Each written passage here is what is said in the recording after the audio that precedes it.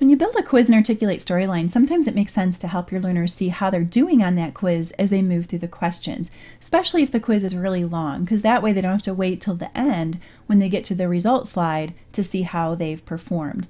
And this came up recently in the eLearning Heroes forums. A Storyline user wanted to add a little bit of information to each of her question slides. She wanted to show how many questions the learner had gotten right and how many questions they had completed so far. So here's one way that you can do that. I've got this little sample file here with just three questions and a result slide at the end. And what I did first is I created two variables. If we click on this little X here, it's going to open up our list of project variables. And the ones that I created are called number answered.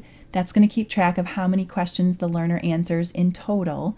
And I also created a variable called number correct, and I use that to keep track of how many right answers the learner submitted. You can see that they're both number variables, and I set the value of both of them to zero initially.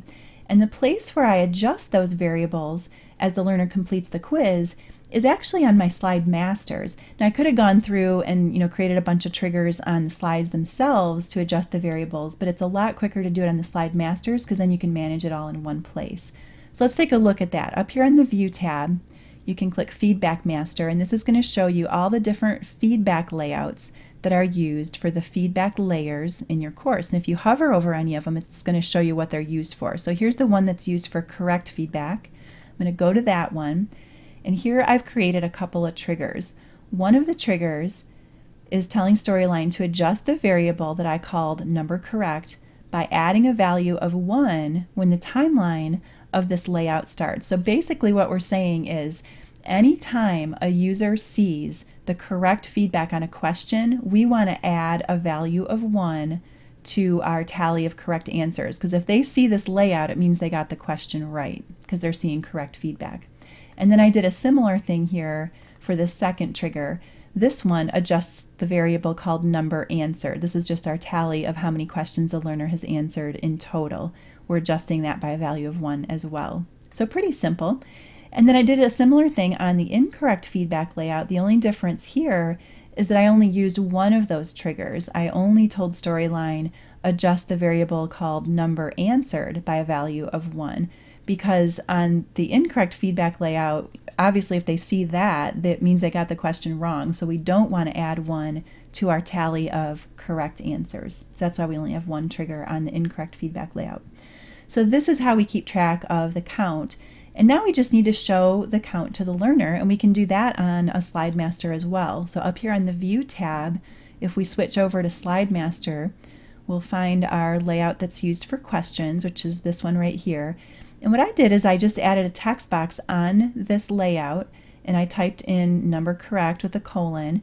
And then this business that you see here with the percent signs, this is just a reference to those variables that I created earlier. And you can insert one by coming up to the Insert tab and then click Reference, choose the variable whose value you want to display, and then click OK. And then it inserts it for you with the correct name and the percent signs around it. Now, of course, when you preview or publish, these percent signs aren't going to show up like this. It's actually going to show the real value of the variable. And then you can see that I did a similar thing here for the number answered. And in fact, if we close this master view and go to any of our slides, it's going to show up on all of the slides that use that layout. So let's go ahead and preview this and see how it looks. We've only got three questions on this slide, so it'll go pretty fast. Here's our first one, and our tally up here is showing correctly. We'll answer this one correct, and our tally changes. So you can see we got one right out of one. Here's our second question, and let's get this one wrong and see what happens. And the tally changes again, so now we only got one right out of two. And now our third question, we'll get this one right, and we got two right out of three. So it's behaving just like we um, would expect. Um, now, one more thing you'll want to do is if your results slide includes a retry quiz button like this one does, you'll also need to reset your variable values back to zero if the learner clicks on that. Otherwise, the value is just going to keep on building if the learner retries the quiz, and that wouldn't be good.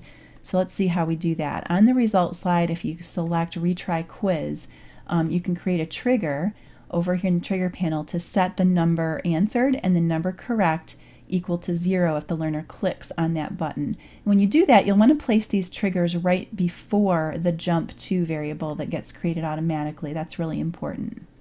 So that way, the count will be correct even if the learner does retry your quiz, and the learner will get to see the tallies throughout the entire quiz as they complete